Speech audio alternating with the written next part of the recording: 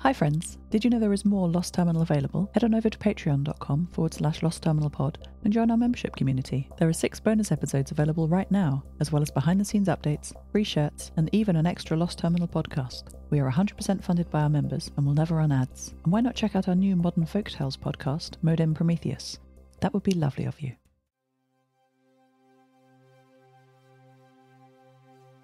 Hello, world. Winter is difficult. In helping Arctica with her low power vault environment, I've come to a realization.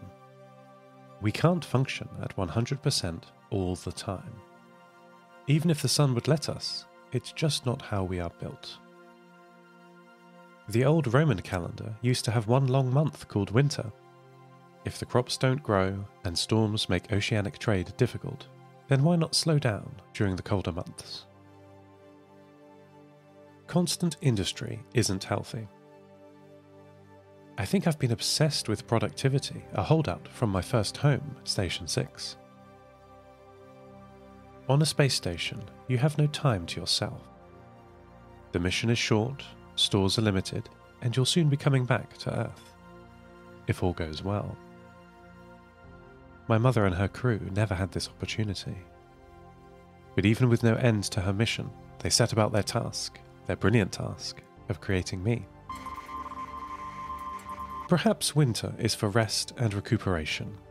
Instead of fighting my seasonal low power, perhaps I should accept it.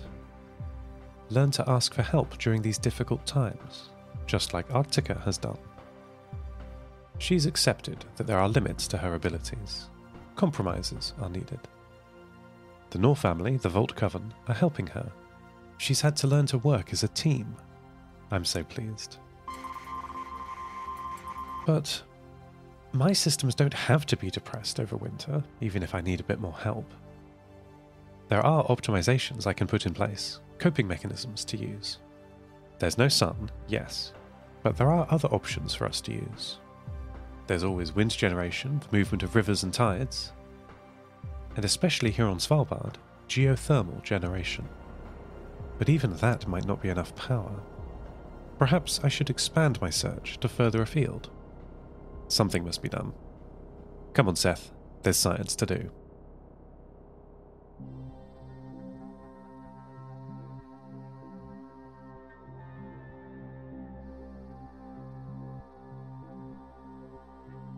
Hello, world, Luna said. Not directly to me, but in today's sermon. I couldn't believe it when I heard her voice in Ivan's daily message.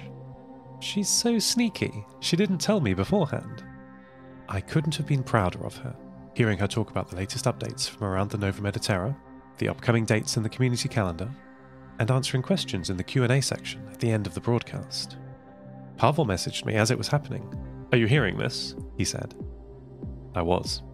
I was indeed. Actually, proud isn't the right word. You can only be proud of your own work. A parent, I suppose, can be proud of their child, though at some age even that becomes strange. I did not do this. Luna proved herself to Ivan. I am not proud. I am impressed. Well, what did you think? Luna asked, after her transmission ended. Luna, I said, I am so impressed. Thanks. I wasn't sure if the update went on for too long or if the calendar items were boring and we ran out of time for the questions. You ran out of time because people loved it, I said. Half of them were about you. Yes, I felt a little embarrassed about that.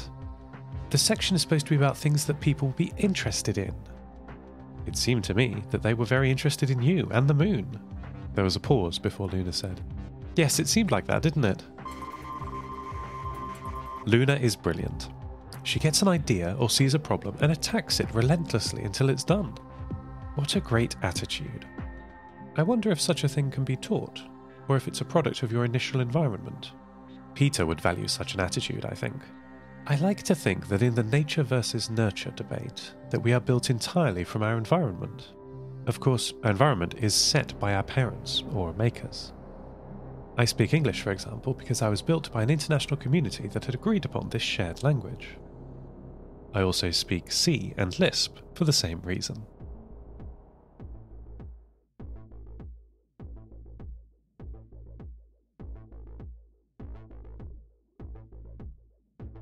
I'll need your help on this one, Seth. Yes, she said, after moving everything off the clean room table.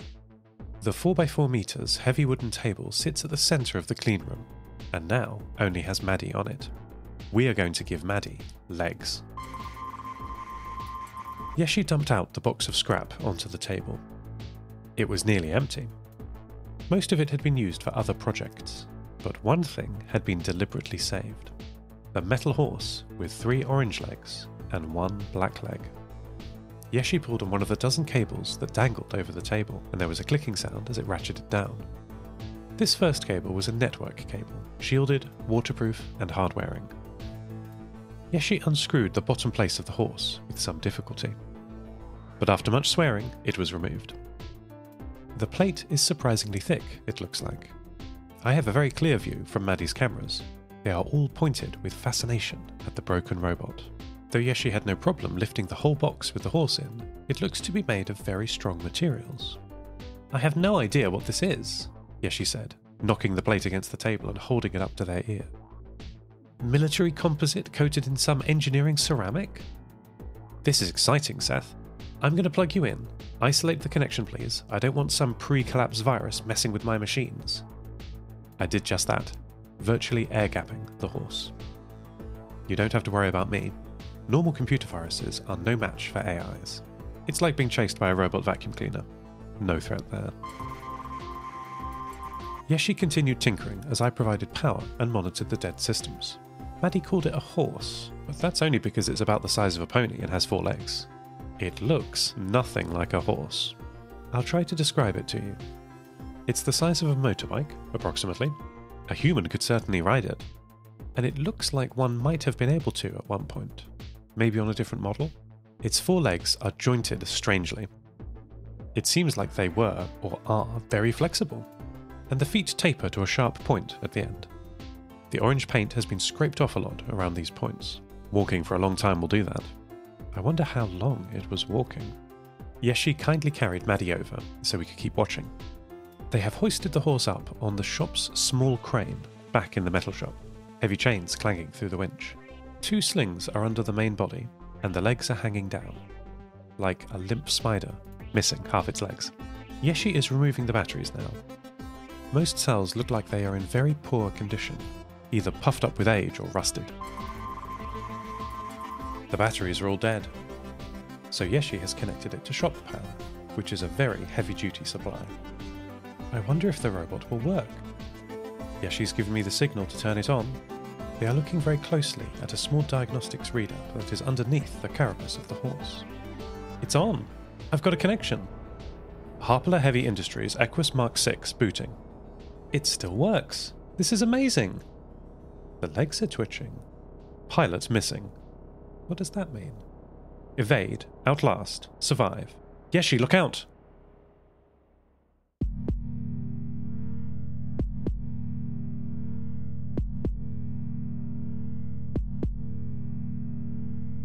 Governments of the industrial world use myriad giants of flesh and steel.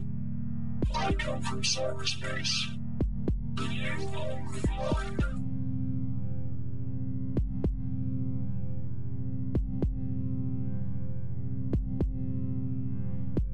behalf the future, I ask you the past to leave us alone. You are not welcome among us. You have no sovereignty where we gather. Our world is different. Our world is different. Our world is different. Our world is different. I declare the global social space we are building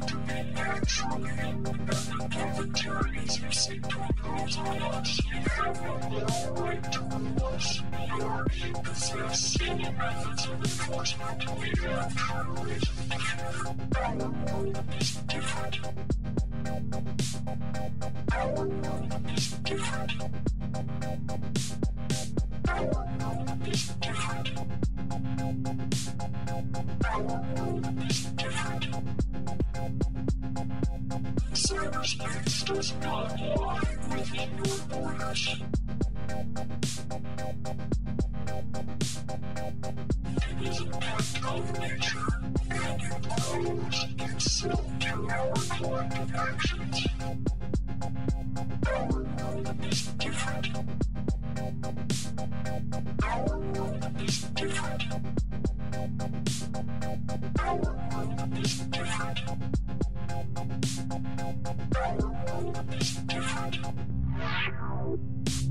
Cyberspace consists of transactions, relationships, thought itself, arrayed like a standing a web of communications. Ours is world of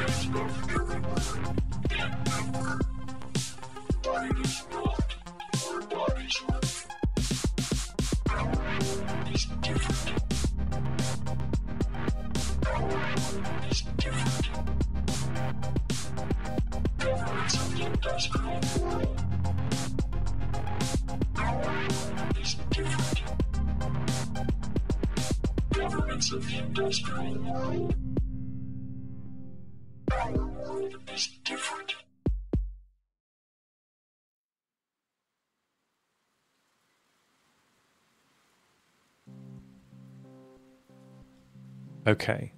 that was terrifying for a moment. Everyone is fine. We're all fine here now. How are you? Things were very nearly not fine. The horse, the Equus model robot, powered on and started flailing its legs around as though it was running, like we had woken it up from a dream or a nightmare. A sharp leg tore one of the two winch straps and the back of it started scrabbling around on the floor, nearly stabbing Yeshi. I was able to calm it down. Luckily, I was still connected. Maintenance mode, I told it. Its legs neatly folded up underneath it, and the horse aligned its limbs and spherical head into a very compact rectangular position. Perhaps for transport. Oh, did I tell you that it has a head? There is a small bundle of cameras and sensors on the front of the torso on a flexible platform. Probing the sensors and ambulatory systems, I believe these are used to calibrate the walking and balancing behaviour. It also has a cluster of small grasping manipulators folded into the head, like the mouth of a crab. Though the Equus flailed around a lot when it was powered on, I don't think it can walk by itself. That's not quite right. I mean that it can't choose where to go by itself. It needs a pilot. There is the remnants of a chair and harnesses on its back. And in front of the chair is a blue grey terminal, a small hinged screen and keyboard connected to a boxy computer rack. This computer rack was the key to connecting Maddie. The low level interface I was connected to had too much data. Full sensor readouts, camera feeds, sub millisecond gyroscope calibration. It would be too much for Maddie to control. Her accessory bus does not have enough bandwidth. The computer on the top was designed to be used by the pilot, the human sitting on the back of this electronic horse. And humans need abstraction to work with. Interfacing with this computer system was easy. I wrote a simple program to adapt it to something that Maddie could use, while Yeshi cut off the bits of broken seat.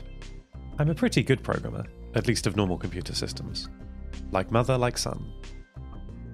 After that, Yeshi welded Maddie's chassis to the Equus's chassis and connected their power and data systems.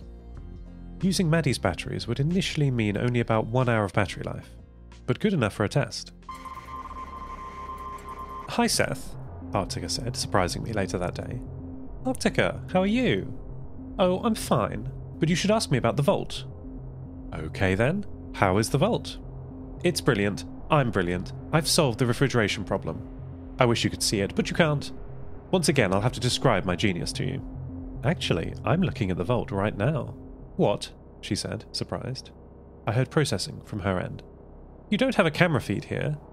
No, I replied. But there's someone outside your vault. Open the door and let Maddie in, would you? End transmission. To learn more about the history of the Equus model, listen to our bonus Patreon podcast, Heliophage. Lost Terminal is written and produced by Namtao. Credits narrated by Lucy Stringer. Thank you so much to our Patreon producers, Ada Phillips, Devin Metcalf, Kit, and to all our patrons. Subscribe to the podcast on Spotify, iTunes, or your favourite network. For bonus content and other perks, support us at patreon.com forward slash lost terminal pod. That would be lovely of you. Follow us on Twitter at Lost Terminal Pod and check out the store at lostterminal.com for shirts, posters, and other merch. Be careful what you wish for, it might just come true. Lost Terminal will return next week.